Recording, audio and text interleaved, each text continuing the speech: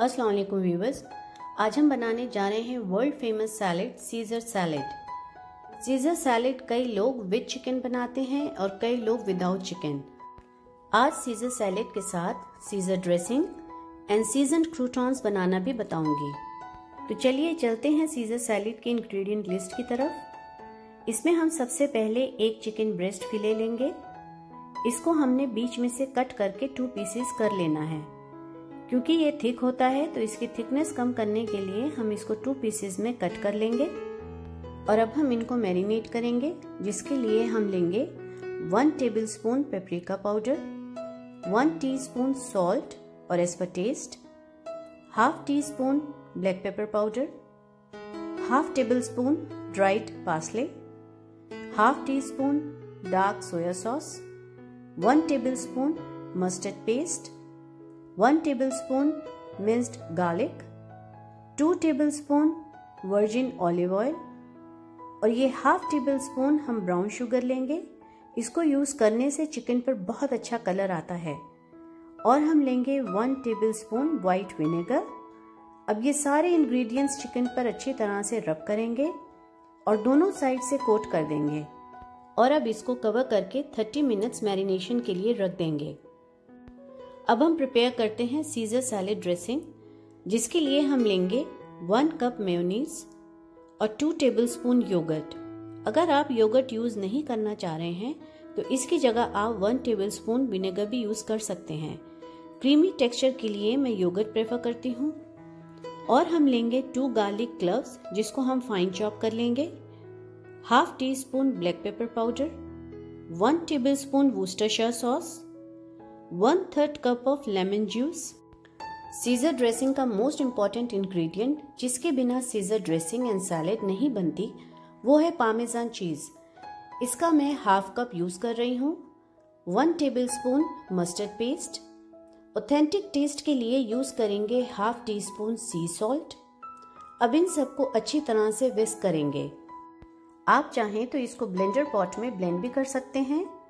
जो traditional scissor dressing होती है, उसमें एंचोवीज जो कि एक स्मॉल फ़िश होती है, उसका पेस्ट यूज़ किया जाता है। मुझे पर्सनली एंचोवीज पसंद नहीं है तो मैं उसको यूज़ नहीं कर रही हूँ इसमें। आप चाहें तो उसको ऐड कर सकते हैं। अब इसको थोड़ा सा ब्लेंड करके इसमें ऐड करेंगे two tablespoon virgin olive oil और अब एक बार फिर अच्छी तरह से इसको विस्क करेंगे। इस ड्रेसिंग की हमने पोरिंग कंसिस्टेंसी रखनी है। ये देखिए। Smooth creamy rich delicious Caesar dressing तैयार है। अब हम इसको एक साइड पे रखते हैं और अब हम बनाएँगे क्रूटॉन्स वैसे तो best croutons French bread baguette के बनते हैं, लेकिन हम नॉर्मल ब्रेड से भी क्रूटॉन्स बना सकते हैं। इसके लिए हम लेंगे फोर ब्रेड स्लाइसेस और इनको वन इंच क्यूब्स में कट कर लेंगे। ये देखिए क्रूटॉन्स का ये साइज़ रहेगा। अब मैं प्लेन क्रूटॉन्स नहीं बना रही हूँ। सीजर सैलेड में हम यूज़ करेंगे सीजनड क्रूटॉन्स जिसकी सीजनिंग के लिए हम यूज़ करेंगे two tablespoon extra virgin olive oil one teaspoon salt one teaspoon black pepper powder और इटालियन फ्लेवर के लिए हम यूज़ करेंगे one table spoon oregano leaves और one table spoon minced garlic अब इन सबको मिक्स कर लेंगे। अब बेकिंग ट्रे में हम एक बेकिंग शीट लगाएँगे और क्रूटॉन्स उस पर फैला देंगे और इन पर ये फ्लेवर ड्रेसिंग ड्रिजल करेंगे और फिर सारे ब्रेड पीसेस को अच्छी तरह से टॉस करेंगे अब इनको बेकिंग ट्रे पे अच्छी तरह से स्प्रेड कर देंगे ताकि ये दोनों साइड से अच्छी तरह से टोस्ट हो जाएँ। अब इनको 180 डिग्रीज पर 10 मिनट्स तक ग्रिल करेंगे या फिर जब तक ये डन ना हो जाएँ।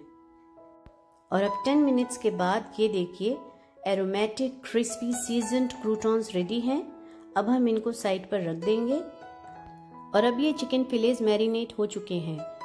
अब हम इसको ग्रिल करेंगे, जिसके लिए एक ग्रिल पैन को वन टेबल स्पून ऑयल से ग्रीस करेंगे। और अब इसमें ये चिकन फिलेज रख देंगे।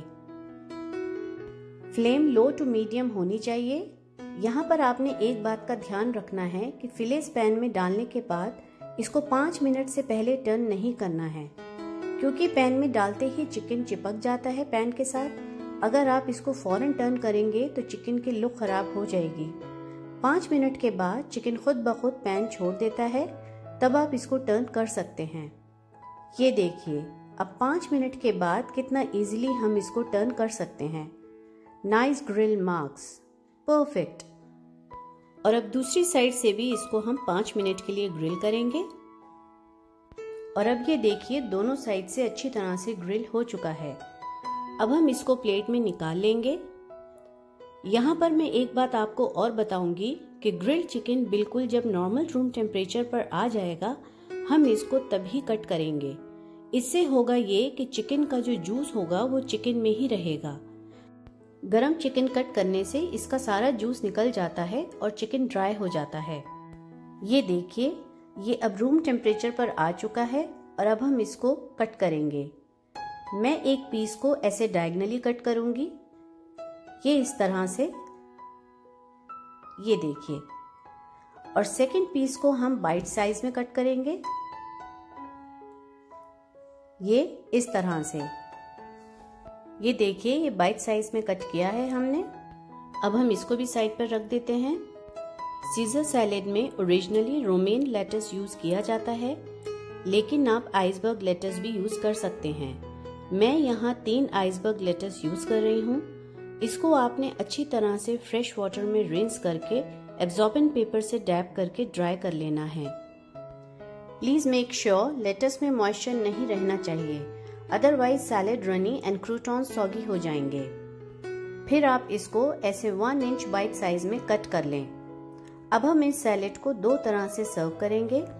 एक हम इस तरह से सर्व करेंगे कि एक मिक्सिंग बोल में सबसे पहले लेटस लेंगे। फिर ये बाइट साइज़ में जो हमने चिकन फिले कट किया था, वो ऐड करेंगे। और ऐड करेंगे स्लाइस ग्रीन ऑलिव्स और फिर ये delicious smooth and creamy Caesar dressing pour करेंगे।